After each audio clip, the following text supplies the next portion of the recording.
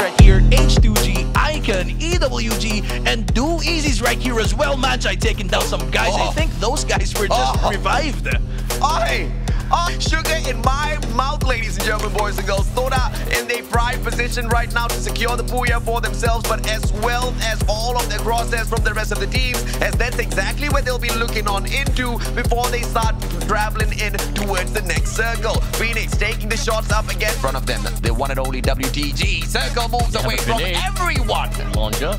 They have a grenade launcher, so they can't actually play like that. With a third-person perspective, they can't do that! And then, this is how Umbrella Reborn! go of the shot the moment he spots the player. What a crazy takedown. Of course, the time catches up with them. Too many gunfights back to back to back. And now the players of Geek Fam are taken down.